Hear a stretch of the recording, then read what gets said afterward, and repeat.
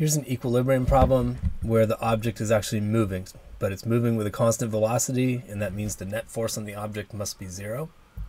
So if we start to decompose forces here, I'll decompose in a second, but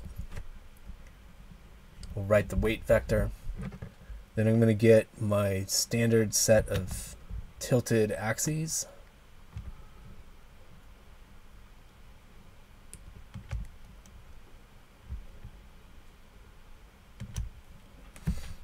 I'm going to decompose the force of gravity into perpendicular and parallel pieces.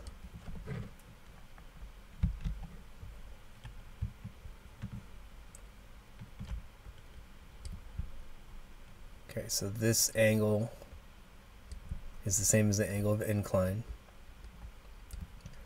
So I'm going to have an mg cosine 32 degrees there. And then pointing parallel and down the ramp, I'm going to have an mg sine 32 degrees. Um, I have a normal force here. It's not going to enter into the calculations, but I'll just do it for completeness.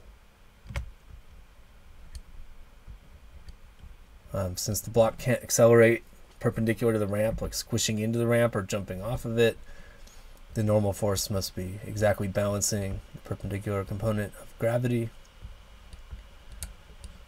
All right, and then the thing that's in, that's missing from our diagram still is this, the friction force, and that's going to point the opposite direction of the slipping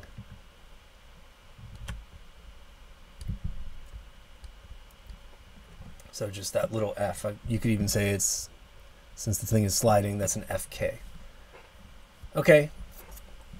So our our force analysis is done in the perpendicular direction because we figured out the normal force is mg cosine 32.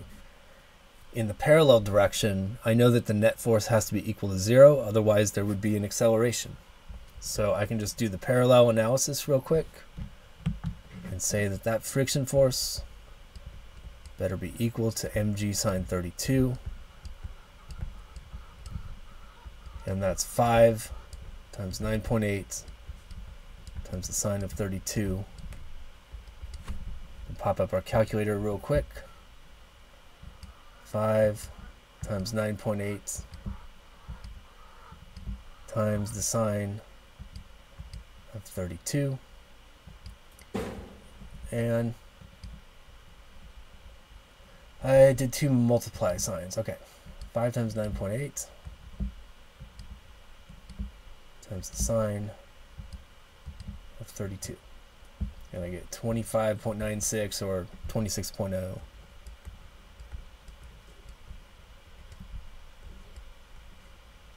So 26 newtons is the friction force here.